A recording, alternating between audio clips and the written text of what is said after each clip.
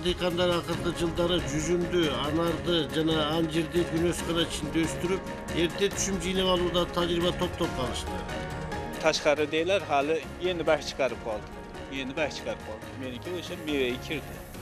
ош облустунун кара суу районунда помидор бадыраң өстүрүп кыш мезгилинде түшүм алышкан дыйкандар эми лимонду күнөсканада өстүрүшүүдө эки жылдан бери ушул системаны колдонуп атабыз сугарууну тамчылатып сугаруу өлкөбүздүн түштүгүндө дыйкандарыбыз өздөрү өстүргөн өсүмдүктөрүн кайра иштетүүгө жана экспорттоо багыттоо зарылдыгын белгилешет кайра иштетүүнү өнүктүрүү боюнча быйыл бир өзгөчө көңүл бурайлы деген ой бар. Өткөн жумадагы көрсөтүүбүздө өлкөбүздүн түштүгүндөгү багбандарыбыздын эмгегин баяндап күнөсканада жашылча өсүргөн дыйкандарыбыздын арымдуу аракеттери тууралуу учкай сөз кылганбыз бүгүнкү көрсөтүүбүздөн түштүк аймагындагы күнөскана курушкан дыйкандардын кыш мезгилинде дагы элдин дасторконуна помидор бадыраңды сунуштап ал тургай жүзүм менен анар өсүмдүгүн күнөсканада өстүрө баштаган таасирлүү тажрыйбалары тууралуу репортажды сунуштайбыз азыр күнөсканадан бул жакта он төрт жогоруда алты бул жагында тогуз бул жакта үч жалпысын алганда так жыйырма тогуз отузга барып калат жылытуу системасын биз өзүбүз эле ойлоп өзүбүз таптык ушундай кылып эле трубалар менен эле жылуулук келет тияктан кайра артына кетет а мунун системасын эми биз основном эмелерди специалисттерди өзбекстандан алып келдик ошону жасаттык мындай кылып туруп кара суу районунда отуз адыр айылдын дыйканы абдыманап агабыздын жашылча өсүмдүгүн өстүрүүдө тажрыйбасы артылып отузга жакын күнөскананы өз күчү менен куруп чыгып бир жылда эки жолу түшүм алып жатканы кубандырат өзгөчө кыш мезгилинде ар бир күнөскана ичинде өстүргөн өсүмдүктү таңдан кечке бакестеп багып айрыкча жылуулук менен камсыздап жерди асылдандырууда көп эмгек жумшай тургандыгын белгилейт жер курулуш ишканасынын жери болчу? Мурда алты миң сантиметр шагылды алып салдык кайра анан топурак төктүк топурак төгүп а, топурактарды обработка кылып баягы бизде кык азыр пока дары дармек бере элекпиз себеби дегенде биздин жерибиз күчтүү бир эки үч жылга чейин дарынын кереги жок дейт бадыраңдын арзуу деген сорту бул биздин кыргызстан үчүн өтө жакшы сорт экен түшүмдү жакшы берет анан мондай биздин эмеге туура келе турган да шартка анан түшүмдөрү да жакшы бирок ооруйт эми ооруганына ошо убагында баягы витаминдерин дары дармектерин берип туруш керек бадырың эки айда эле бышып калат экен помидорго караганда бадырыңдыкы жакшы бул эки айда бышат азыр мына түшүмдүктөрдү көрүп атасыздар мындай катар катар кете берет экен бул жогору чыгып кайра кайтат помидорду өстүрүүдө жердин кыртышын даярдоо тамчылатып сугарууну жүргүзүүдө сууну жылытып ар бир өсүмдүктүн тамырына тиешелүү азыктары менен бирдей жеткирүүдө дыйкандын жардамчылары тоодо эмгек өтөшөт эми помидор боюнча азыр помидорду как раз эме кылып атабыз мына жалбырактарына дары чачып атабыз аламия деген сорт түшүмдүүлүгү жакшы азыр эми бул бышып баштаган убагы эми быша элек чоң эмес өтө кичине өтө чоң эмес өтө кичи эмес эң нормальный сорт эмеси болот ал жакта дагы мен көргөзөм тори деген аябай чоңоюп кетет алар анан могуларда болсо жалбырактар баягы көпөлөктөр түшүп аткан анан буга да жетишпей калып мына көрүп атасыздар мына бул кадимкидей эле кустарный метод лампочканы коебуз тиягына сууну коюп атабыз мына үстүнө көрдүңүзбү канча көпөлөк түшүп калды мына көпөлөктөр ушулар түшүп аткан а мына жака түшкөн көпөлөктөрдү көрдүңөрбү канча мына капкара болуп калды мына көпөлөк алып келип курт эме кылат экен а курттан уже оор түшөт а могуга курт түшкөндөн кийин уже өтө кыйын болуп калат экен. Товар болбой калат.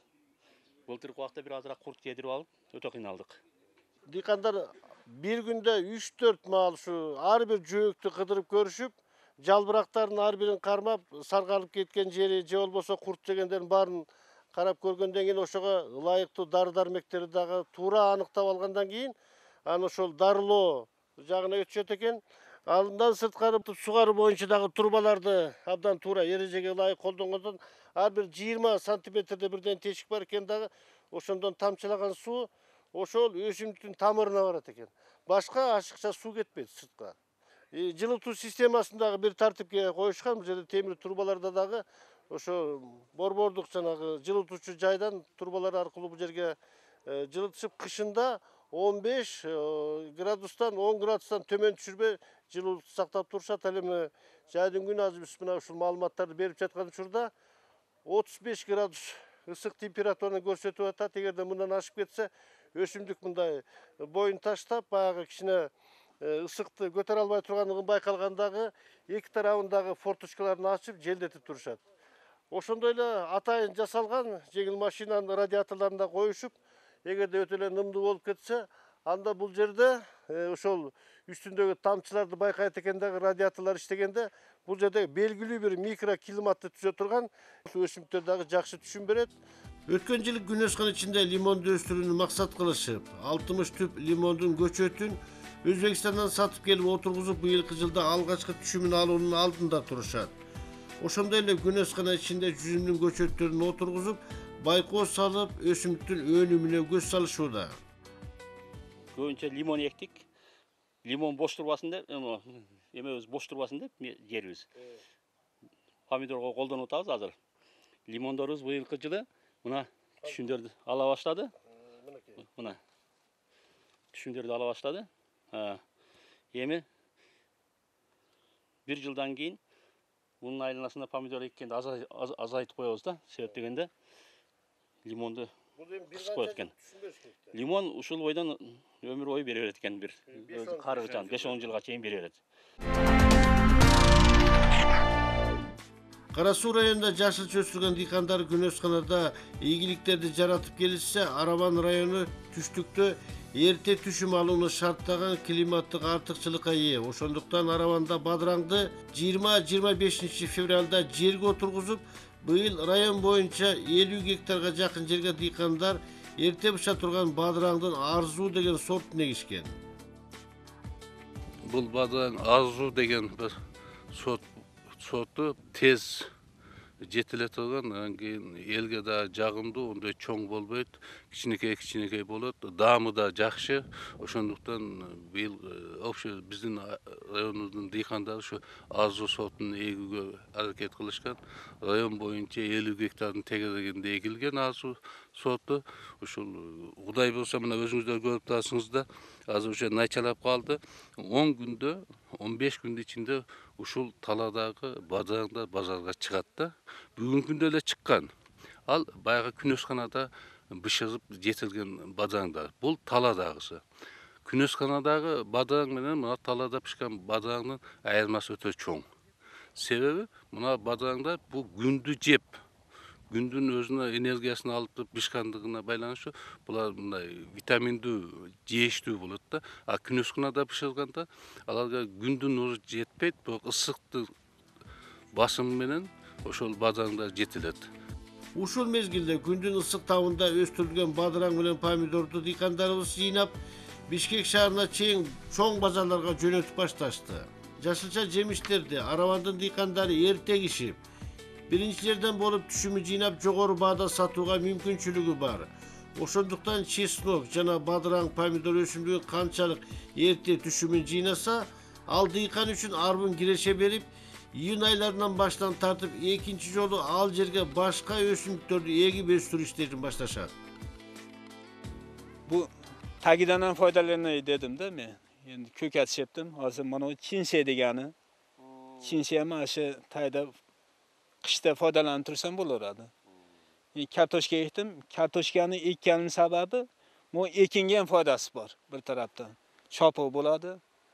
Bu chesnokni biz sentyabr oyida o'tkazganmiz. Sentyabr ha. Sentyabr oyida sanchib, mana shu paytgacha mana qarab chopib, o'tab shunday qilib o'stirdik. Endi iloji boricha pishiramiz biz. Ellar уже shu el sotyapti. Shu bo'yicha sotilyapti. Hozir 2 so'm, 3 so'mdan sotilyapti. Iloji bo'lsa pishirsak 5 so'm, 6 so'mga chiqishi mumkin. сиздер килограммын канча сомдон сатып аласыңар Kilosi 150 so'm, 200 so'mdan sotiladi. Sotiladi. ушу чеснокту айрымдары биринчи түшүмүн алып сатып жиберишти жаганда эрте быша турганда Yo'q, buni iloji boricha o'zimiz urug'idan olib qolamiz. Ya'ni urug'ini olib qolib, o'zimizga yarasha olib qolib, qolganini sayamiz. Күзде yana sayılıp, yana. Qancha ayanti qancha? Hozir bu yerda 10 sotik bor. 10 sotik. 10 sotik chesnak. Erta pishadigan chesnokdan. Kuzgisi hali kichikroq, maydaroq bo'ladi. Bular ertaroq pishadi. Bu yerda ha, pomidor ekiladi.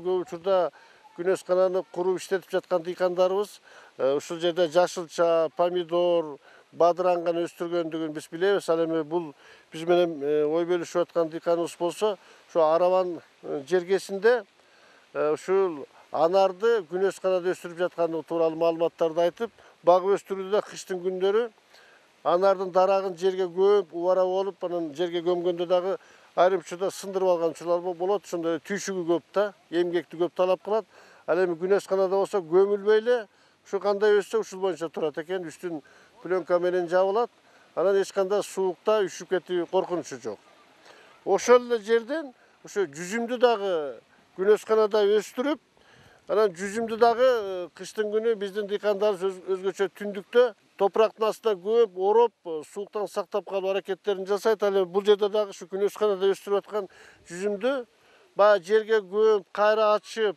кайра байлап отурбай эле ушул жерде кандай болсо так ошондой ушул күнөс кананын ичинде калып калат дагы эртерээк гүлдөп эртерээк түшүн байлай турган тууралуу маалыматтарды айтып жатат 3. yıl bir yıl ötküzgenimge. Ha, 3 yaşta. Bu üzümler yeni meyve ekirdi hazır. Mana o'sha gullashga kelib qoldi. Oldi. Ha, ha. түшүн байлап калыптыр Tushum baylab qoldi. Endi bu ekishimdan maqsad yerga orzaroq chiqarish, и erta chiqarish. O'shaning uchun teplitsa jasab, teplitsa bilan o'rab shuni vaqtida chiqaryapman. теплицаны качан жасадыңыз Tiflisa'ga 2 yil bo'ldi. Oldin bu onor borligida onorlar sovuq urib ketib qoldi. Yopsam sinib qoldi. O'sha maqsadda ertaroq bu Tiflisa yasashga majbur bo'ldim-da. жүзүмдүн плантациясы 25 сотуктан ашык жерге 400 түп анарды жана 400 түп жүзүмдү эки күнөс канага батырып 3 жылдан бери өстүрүп быйылкы жылы мол түшүмдү күтүп жаткандыгын баяндайт анар өсүмдүгү 40 жылга чейин жашап ар түбүнөн 15-20 килого чейин түшүм бермекчи даамдуу анарды жыйнаган мезгилде жеринен эле ортомчулар килограммын 100-150 сомго баалап сатып алышарын айтат Men hozir o'zimni erim O'shdan shahardan ko'proq keladi. O'shalar kelib bozorda olishib sotib olib ketadi. 100 so'm, 150 so'mdan sotilyapti kilogramm. Shu анарды Onordi. Анар жана жүзүм өстүрүүгө ылайыкташып курулган күнөс кананын бийиктиги 4 жана 5 метрди түзүп, ал эми эни болсо 10 метрден ашпайт. Ал эми узундугу 45 метрге чейин жетип, 400 түп баалуу өсүмдүктү кышкы сууктан сактап, жай мезгилинде бирдей жылуулукту жана жетиштүү нымдуулукту кармап, өсүмдүктүн толук жетилүүсүнө ойдогудай микро чөйрөнү түзүп бергени менен артыкчылыкка ээ. Кыргызстан түштүгүндө дыйкандарыбыздын дагы бир ушул өзгөчө түндүктөгү дыйкандарга биз тааныштыра турган ошондой кыргыз эли да муну жакшы билет анжир өсүмдүгү жемиш бактарынын бири болуп эсептелет экен муну дагы жакшы жагы биз менен маектеше турган дыйканыбыз дагы ушул анжирди күнөс кананын ичинде багып өстүрүп өткөн жылы биринчи түшүмүн алган экен эми быйыл дагы эрте гүлдөп эрте түшүм байлап мына азыр түшүм байлап калган экен былтыр ушул анжир дарагынан бир жыйырма отуз килограммга жакын түшүм жыйнагандыгы тууралуу маалыматтарды берип атат. Буга дагы өзгөчө камкордук керек экен анан сууну көп талап кыла турган өсүмдүктөрдүн бири болуп эсептелет сөз кылып аткан анар бул дагы өтө баалуу азыктардын бири болуп эсептелет көбүн эсе ушулнун түшүмүн россия казакстанга сатууга мүмкүнчүлүк бар да. Биздин дыйкандар мына көрдүңүздөр азыңыздар өзүңүздөр араван районунда акыркы мезгилде теплица аябай көбөйдү бул негизги утугу ушул продукцияны эртерээк жетиштирип анан кымбатыраак сатуу максат болуп атат бирок чындыгында бизде эгерде ушул м, теплицанын өндүрүү мына ушул жетиштирилген продукцияларды көбүрөөк кайра иштетсек ошондо мен ойлойм биз дыйкандарга көбүрөөк жардам берген болор элек. Эми мына кыргыз өкмөтүнүн негизги тапшырмаларынын бири болуп атат. Бүгүнкү күндө мына премьер министр сооронбай шарипович өзү дагы катуу талап кылып атат. Кайра иштетүүнү айрыкча айыл чарба продукцияларын кайра иштетүүнү логистикалык борборлорду куруу райондорго бул ошол мындай сок чыгара турган сушилка ушул окшогон нерселерди көбүрөөк райондорго алып келиш биз эл арасында түшүндүрүү иштерин жүргүзүп именно ушул багытта райондук администрация жергиликтүү өзүнчө башкаруу органдары көбүрөөк ушул маселенин үстүндө иштеп атат эми мына акыркы эки үч жылда көрүп атасыздар мен ойлойм бул багытка и кредиттер көп берилип атат. Мына акыркы мезгилде эле бизде былтыр өткөн жылы бир жүз элүү төрт миллион сом сомдук ушул кредит берилди именно айыл чарба багытында.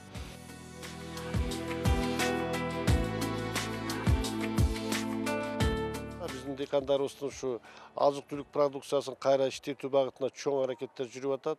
Өзгөчө бул түштүк аймагында дагы ош областында жалал абадта дегенде. Ушул багытта биздин дыйкандарыбыз эмнеге жетише алды ушул кайра иштетүүнү атайын мына июлдун эки үчүнчү төртүнчү күнү чоң бир ярмарка өткөзөбүз ярмарка өткөрүп ушуну бир эл аралык деңгээлге чыгарыш. Ар жылы биз инвест форумда өткөрүп келдик эле. Быйыл аябай мындай компаниялар жүздөн ашык компания катышкан. Ошонун негизги багыты бул кайра иштетүү болот. Ошондуктан азыр компанияларды чакырып сүйлөшүп атабыз. Эми кайра биз ушул колго албасак бизде өндүрүлгөн продукция оз убактыда мындай кайра иштетилбей көп мезгилде мындай чырып койгон мезгилдер болот да ушул айыл чарба өсүмдүктөрүн дыйкандарыбыз сыртка россияга казакстанга евразиялык экономикалык биримдикке кирген өлкөлөргө эки жылдан бери жөнөтүп атышат биз ошондуктан быйыл ушул эң негизги көңүлдү экспортко багытталган продукцияларга эгели деген максатта мына өткөн жылда бир жарым миң гектарга быйыл дагы бир жарым миң гектарга пахтаны көбөйтүп атабыз анткени бүгүн экспортко пахта бул негизги экспорт болуп акбула сатылып атат да. Ошондуктан бул анан картошка мына кошулар менен айрыкча өзбекстан менен мына соода жолго коюлуп атат ошондуктан биз мындай мыйзам чегинде цивилизованный соода деп коет ушул маселеде мындай өзбекстан компаниялар менен договор түзүп экинчи картофелди ушул өзбекстанга өткөрүп дыйкандардын эсинде болсо керек өткөн жылдан баштап кыргыз өкмөтү тарабынан айыл чарбасындагы реформа өткөрүүдө аймактын климаттык шартына ылайык аймакташтырып өсүмдүктөрдү дагы бир аймактан экинчи аймакка көчүрүп вегетациялык мезгилине шарты келсе тажрыйба алмашуу милдеттери коюлган биз ошо ысык көл областында райондук агрардык өнүктүү башкарма менен тыгыз байланыштабыз кала берсе баардык эки миң он алтынчы жылы миң туп ушу кокон гиласты алып кетишкен мына быйыл эки миң он жетинчи жылда уже февраль айында беш жүз алып кетишти алар барып ошол жерде ушу гиласты бакчылыкты көбөйтүш максатында ысык көлдүктөр дагы ушу бизден келип ошо көчөттөрдү алып кетип атат кала берсе мынакей бизге жакын эле жалал абад областынын нокен району бир үч миңдин тегерегинде эки жылда алып кетишти шапталы кокон гиластын көчөттөрүн биз ысык көл областында ошо агрардык өнүктүү башкарманын жетекчилери байланышып картошканын баасы декабрь январь февраль канчадан болуп атат бизге алып келсе канчага туура келет биздин базарда кандай сатабыз деген максат менен алар менен байланышта биз ошол жактан мүмкүн болушунча элүү тонна жүз тонна картошканы алып келип туура ысык көл областынын тургундары өздөрү алып келип ушул жерде сатышып атат да бул дагы болсо биздин дыйкандарга бир эки сом үч сом болсо да жеңилдик болуп атат экинчиден тажрыйба алмашып атат тажрыйба алмашып атат элдер бири бири менен таанышып атат анан кийин жакшы өтө тыгыз байланышып калганда ушул жерден машина деле туура жөнөтүп атат ысык көлдүк туугандар бизге түз эле жөнөтүп атат арабан районундагы айылдык товар өндүрүүчүлөр техникалык өсүмдүктөрдөн пахтаны өстүрүшүп сыноодон өткөрүлгөн мыкты сортторун тандап келишет себеби пахта өсүмдүгүнө дагы арбын эмгек жумшап ото чөптөрүнөн арылтып убагында суу менен камсыздап күзүндө эрте жыйнап алууга аракеттерин аяшпайт эгерде пахтанын эрте жетиле турган сортторун эгип жерди кошумча азыктандыруу иштерин жүргүзүп убагында суусу менен камсыздап келсе күзүндө мол түшүмдү камсыздай алышмакчы былтыр сыноо катарында чек абад айыл аймагынын дыйкандары кытай эл республикасынан алынган пахтанын жаңы үрөнүн эгишкен үрөндү кытайдан алып келинген ишкерлер жеке ишкерлер ушул жерге азыр 20 гектарга пленка астында чигит эктик эгүү селкасы дагы техникасы. Ошо кытайдан келген селканын негизинде эктик. Бизге бир гана ашыкча нерсеси бул жерде мына өзүңүздөр көрүп турасыңар бир пахта менен экинчи пахтанын аралыгы 12 сантиметр бизге 20-25 сантиметр болуш керек да ошон үчүн биз мына пахтаны калтыргандай мына пахтаны алып коебуз бул пахта калат ооба кол менен ручной кылып терип чыгабыз андай кылбасак бул жакын болгондуктан буну арасында шамал да өтүш кыйын болуп калат анан кийин калың болгондон кийин баягы пахтанын өсүшү ошо түшүм алышы дагы кыйын болуп калат да тыгыз болуп калганда эч кандай кошо түшүм ала албай калышы мүмкүн да пахтанын эми быйылкы жылы биз ушул үрөндү алып келип ушу чекебат айыл өкмөтүнүн алтын үрөн үрөнчүлүк чарбасында баштап быйыл биринчи жолу эгип атабыз биз бирок бул кара суу базар коргоо нокен райондордо колдонуп эле келген ыкма бунун эч кандай немеси жок бул үрөн гектарынан жети тонна пахта берет деп рекомендация берип атат да бизге биздин районубуздун элине биздин дыйкандарга жети тонна эмес бизге беш тоннанын тегерегинде берип калсак биздин дыйкандарга өтө чоң киреше болот Пахтаны быйылкы жылда дыйкандар пленка астында өстүрүү ыкмасына өтүшүп, дыйкандын эмгегин жеңилдетүү багытында бир катар артыкчылыктарды байкашкан. биринчи дыйкандарга бул пленка жардам берет экен чабактан чаппайсың экен o't chiqmaydi ekan ikkinchisi jaganasi yaxshi bo'ladi ekan mana ko'rib turasizlar mana bunday qilib ikkidan uchdan o'zi tashlab ketadi ekan o'shanisi yaxshi ekan bizga o'sha jardan bo'ladi ekan bizga bu xitoy ellik ikki sortini bu yil жаңа olib kelib ekdik ikki ming o'n oltinchi yili ikki ming o'n oltinchi yili xitoy qirq to'rt deganda ekdik hali 30'dan aldık, 30 sentnerdan aldık, gektarni 3 tonnadan oldik bu patplenke şu ertirak bulatırken ekan 10 sentner oshiqcha beradi Şimdi tushimda 10 sentini solishtirganda. Biz bizge o o'sha bir oy erta pishadi. bir ay oy erta pishadi ekan. Murda buni noyabrgacha teradilik Bunu 2016 ming noyabr 20-sini keyin terdik. Bulup ravo Bir yıl buna o buni o'shalar nimalar aytish bo'yicha yetakchilar ырайы ондай болуп туруп быйыл мына ошол немелер айтышы боюнча жетекчилер бешинчи октябрга эч нерсе кабайт экен бешинчи октябрдан кийин жерди айдатып дам алдырып коебуз бешинчи октябргача кырк кырк беш центнер берет деди Аталган алтын үрөн чарбасынын дыйкандары жерди которуштуруп айдоо жумуштарын колго алышат. Быйылкы жылдагы пахтанын түшүмүнөн үрөн даярдашып, мыкты сорттогу үрөндү арзан баада келерки жылдарда дыйкандарга сунуштамакчы. Үрөнчүлүк чарба болгондон башка дыйкандарга да үрөн бересиңер да, да бересиңер. Ушу үрөндү чыгарып заводдон э, чыгарып туруп сатабыз дыйкандарга биз ондай бааны көтөрбөйбүз элүү сомдон кылып сатабыз бир ай мурда дарылап коебуз чигитти М- февралдын жыйырмасынан дарылашты баштайбыз буну план бир жыйырма беш тонна үрөн кылам мен сыноо катары араван районунда мен биринчи эктим Пахтанын баасы дагы 2 жылдан бери өсүп жаткандыктан аймактагы дыйкандар пахта аянтын кеңейтишип, экспортко товар чыгарууда алгачкы ийгиликтер жаралууда.